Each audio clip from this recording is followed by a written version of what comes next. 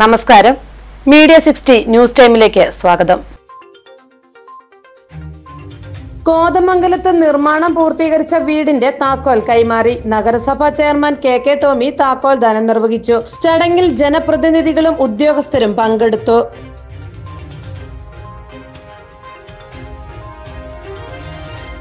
വാർഷികത്തോടനുബന്ധിച്ച് നൂറുദിന കർമ്മ പദ്ധതിയിൽ ഉൾപ്പെടുത്തി പണി പൂർത്തീകരിച്ച വീടുകളുടെ സംസ്ഥാനതല താക്കോൽദാന ചടങ്ങ് മുഖ്യമന്ത്രി പിണറായി വിജയൻ ഉദ്ഘാടനം ചെയ്യുകയുണ്ടായി.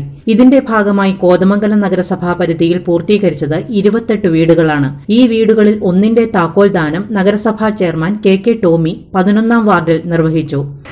ഇരുപത്തി ഒമ്പതിനായിരത്തി ഇരുന്നൂറ്റി മുപ്പത്തിനാല് വീട് പൂർത്തീകരിച്ച വീട് ലൈഫ് പദ്ധതി പ്രകാരം ഉദ്ഘാടനം ചെയ്തിരിക്കുകയാണ്. കേരളത്തിൽ എമ്പാടും നാല് ലക്ഷത്തോളം വീടുകൾ വീടില്ലാത്തവർക്ക് നിർമ്മിച്ച് നൽകി കഴിഞ്ഞു.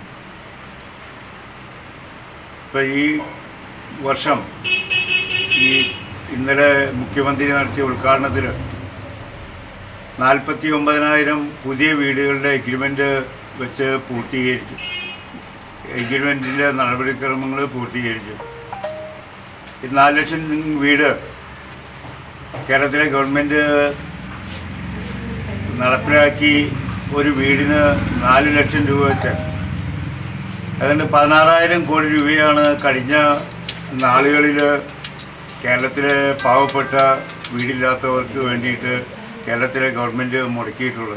പനിച്ചിക്കുടി വീട്ടിൽ പോൾ മാത്യു ഭാര്യ ലിസ പോൾ എന്നിവർക്കാണ് വീട് ലഭിച്ചത്. വികസനകാര്യ standing committee chairman K M Noushad വൃക്ഷത്തൈ നൽകുകയും ചെയ്തു. കൌൺസിലർമാരായ പി ആർ ഉണ്ണികൃഷ്ണൻ വിദ്യാപ്രസന്നൻ എന്നിവർ സംസാരിച്ചു. Ward councillor Rosly Shibu project officer I V Rajeev P M A Y coordinator Vincy എന്നിവർ ചടങ്ങിൽ പങ്കെടുത്തു. ഞങ്ങളുടെ വളരെ നാളത്തെ ഒരു ആഗ്രഹമായിരുന്നു ഒരു വീട് എന്നുള്ളത്. അത് ഇന്ന് അതിന്റെ താക്കോൽദാനം നടത്തി ഞങ്ങൾക്ക് വളരെ സന്തോഷമുണ്ട്. ഒരു ഒരു കൊല്ലത്തെ കാത്തിപ്പിന് ശേഷമാണ് ഇതിന്റെ കടലാസൊക്കെ ശരിയാക്കാൻ വേണ്ടി നടന്ന് ഒരു കൊല്ലത്തെ കാത്തിനു ശേഷമാണ് വീട് ശരിയായി വന്നത്.